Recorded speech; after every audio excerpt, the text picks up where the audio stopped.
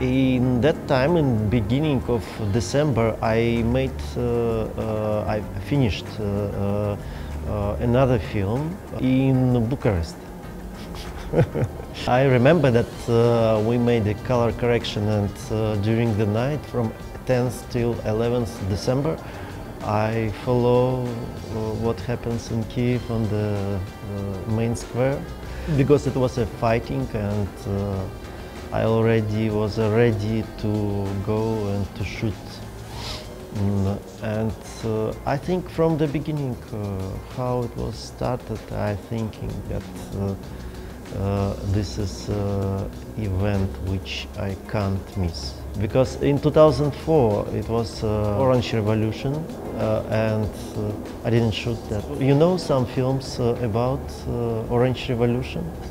Can you remind me? I also, and I think that uh, this is a very important historical event and I, I have to, to do what I can.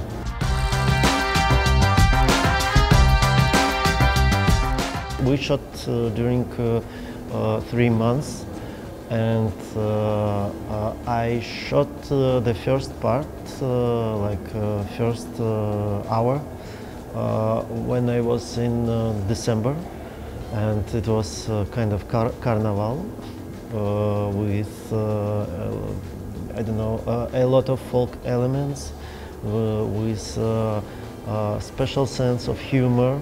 U- Ukraine humor is very interesting uh, and uh, with uh, a lot of folk songs and uh, uh, with fantastic decoration. I can say that because all tents and all things which was constructed on that place, even barricades, very interesting uh, as a piece of art. After that, the atmosphere is changed. Mm. And things become, uh, even after Russian New Year, you know, it's uh, a little bit, uh, it's old New Year. and uh, things become more stronger and uh, you can imagine the atmosphere. Already exists some killed people and you know. It starts uh, as a mm, kind of a festival, protest festival, let's say like that, and finished as a Greek tragedy. And it, it still continued. I mean that uh, the war which uh, Russia started against Ukraine and uh, occupation uh, of Crimea and uh, war now in the east of uh, Ukraine, uh, uh, this is answer and it's just a direct connection with revolution.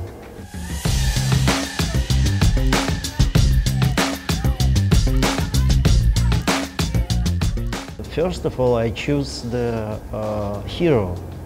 I don't want to to give uh, uh, to have in the film some hero who will be Virgilio and will explain us everything. It was a revolution without leader, without leader, without party.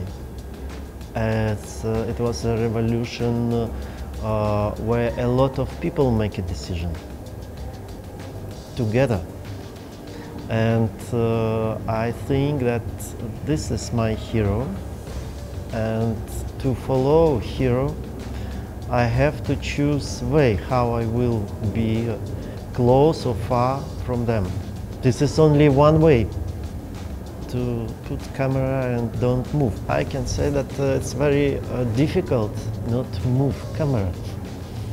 It's very difficult because uh, a lot of things happens around and you want to show everything. Not necessary.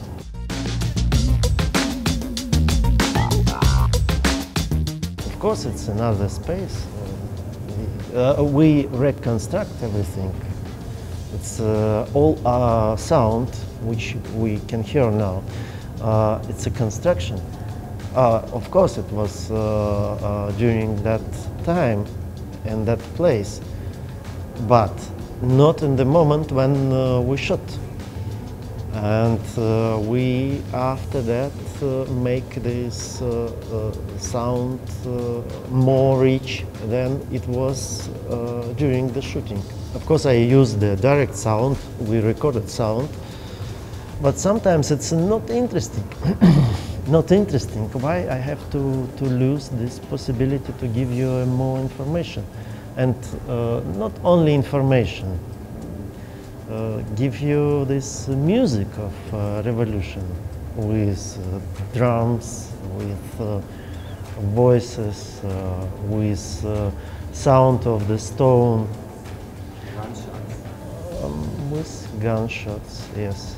Because the stone, it sounded in the film, especially make this sound. In normal life, it's not like that, because it's a cinema.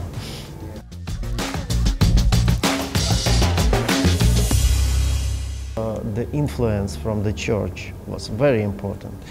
Uh, and uh, every three hours it was uh, pray. Different religion. And not only Christian, it was a Rebbe from Juda- uh, Judaism, it was a Muslim, uh, and uh, also different kind of uh, Christian, uh, because in, in Ukraine it's uh, not only Orthodox uh, Russian, Orthodox Ukraine, and also Adventist, and it was Ukraine Autokephalian uh, Orthodox Church. it's many different directions and many different churches, and only Russian uh, patriarchate was not uh, uh, present on Maidan. A lot of uh, popes they participate in the fighting. They stay in between two two group of people. They stay between police and demonstrants, and the stones you know, only uh, in different places, but not in the place where uh, the Pope stay with icon. Can you imagine? But they try to sa- save uh, young soldiers uh, uh, who was not. Uh, it, it was not police, but this is part of army. Name it внутренние войска, inside uh, forces or something like that. And uh, the soldier from that forces, it's uh, young uh, people, uh, they have an obligation to serve in army and uh, nobody ask them. The policemen, they get money and this is a job, you can make a decision. And these uh, uh, soldiers, uh, they didn't make any decision. And the popes tried to save this part of uh, it's very, very, sometimes very smart what they uh, doing.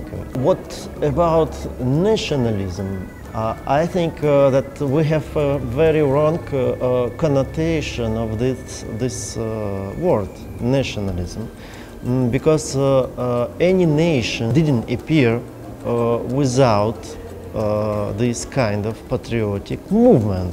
Any, if you look around, this is what happens with every country, every nation. I think that uh, uh, uh, after 30s, even after German Dritte Reich, Third Empire, uh, this uh, word uh, have a, a very bad connotation. Now the propagandists they use this connotation to mark the movement in Ukraine like that. I think so because the real uh, people. The last election was uh, uh, the president election. Show how people react on nationalistic uh, figure. They all together. Uh, it was not real nationalistic, uh, but people who use this kind of rhetoric sometimes or use it before. They together. There was a candidate to the president. They together have like. Uh, 1.5 percent.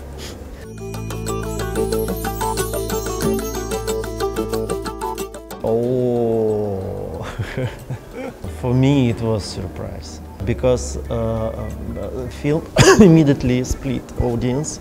Some people hate it, some uh, people uh, uh, love it, but it's understandable because uh, usually people thinking that documentary cinema have to explain everything, show all proof with a camera and uh, uh, give the absolutely complete picture what happens.